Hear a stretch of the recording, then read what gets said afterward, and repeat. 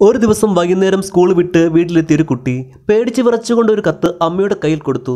ഇത് സ്കൂളിൽ നിന്നും ടീച്ചർ തന്നാണെന്ന് പറഞ്ഞു. അക്ഷരങ്ങൾ പോലും അറിയാത്ത ആ പിഞ്ചുകുട്ടി അമ്മയോട് ചോദിച്ചു അമ്മേ അതിൽ എന്താണ് എഴുതിയിരിക്കുന്നത്?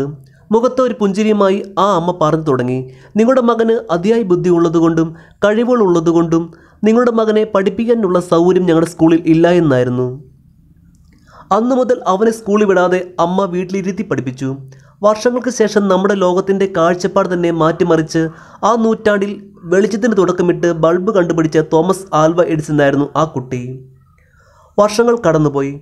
അമ്മയുടെ മരണത്തിന് ശേഷം അമ്മ സൂക്ഷിച്ചു വെച്ചിരുന്ന ആ ഇരുമ്പ് പെട്ടിയിൽ നിന്നും അവനൊരു തുണ്ടുകടലാസ് കിട്ടി. താൻ കുട്ടിയായിരുന്നപ്പോൾ സ്കൂളിൽ നിന്നും തനിക്ക് തന്ന ആ കത്ത്. അതിൽ എഴുതിയിരിക്കുന്നത് ഇങ്ങനെയായിരുന്നു. നിങ്ങളുടെ മകന് ബുദ്ധിമാന്യമുള്ളൊരു കുട്ടിയാണ്. അവനെ പഠിപ്പിക്കാൻ ഞങ്ങളുടെ സ്കൂളിൽ വേണ്ടത്ര സൗകര്യങ്ങളില്ല. അതുകൊണ്ട് വേറെ സ്കൂളിലേക്ക് അവനെ മാറ്റണമെന്നായിരുന്നു. അത് വായിച്ചതിന് ശേഷം അദ്ദേഹം ഒരുപാട് പൊട്ടിക്കരഞ്ഞു.